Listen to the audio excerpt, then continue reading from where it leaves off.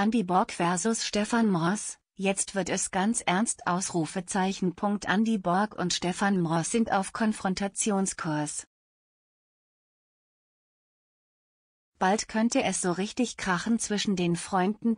Bisher hatte jeder seinen festen Sendeplatz und Ort. Doch diesen Sommer ändert sich das, denn Entertainer Andy Borg, 62, moderierte ausgerechnet seine Samstagabendshow aus dem Europapark Rust. Dort, wo sonst stets Stefan Moss, 47, das Mikro für immer wieder sonntags schwingt. Kampf um die TV-Krone. Werden aus Freunden jetzt Rivalen? Andy Borg, er kriecht in Stefans Wohnzimmer. Mit seinem Schlagerspaß fährt Andy Borg immer wieder beeindruckende TV-Quoten ein.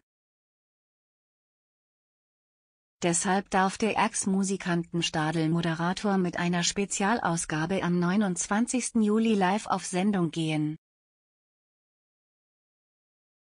Der Sommerspaß mit Andy Borg wird ab 20.15 Uhr im SWR sowie parallel auch im MDR übertragen.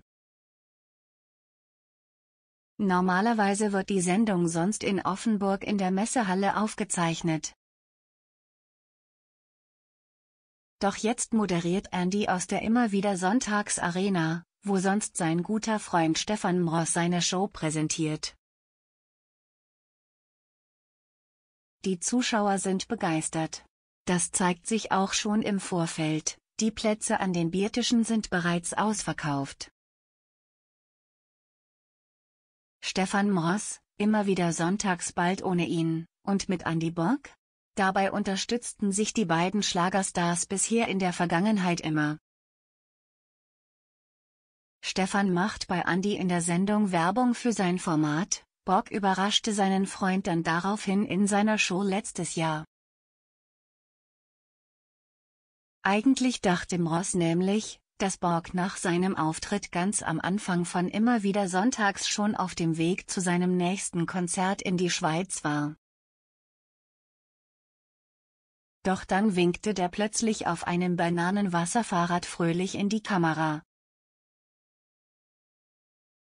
Ich lass dich in deiner letzten Sendung nicht alleine, strahlte Borg seinen Kumpel an. Doch jetzt ist die Lage anders. Mross ist zwar als Gaststar bei Borg eingeladen, macht aber seit Monaten eher negative Schlagzeilen mit Alkohol, Prügelei, Trennung, neuer Freundin und unentschuldigten Absagen. Er steht deshalb stark in der Kritik. Sein Freund ist dagegen lang fromm. Probiert der SWR also schon mal seine Geheimwaffe Andy Borg in der gleichen Kulisse aus, für alle Fälle? Der bekommt immerhin neben der Live-Schaltung schon mal 30 Minuten länger als üblich. Und Stefan bangt um seinen Job, denn Andi könnte ihn ersetzen. Das wäre dann das Ende ihrer Männerfreundschaft.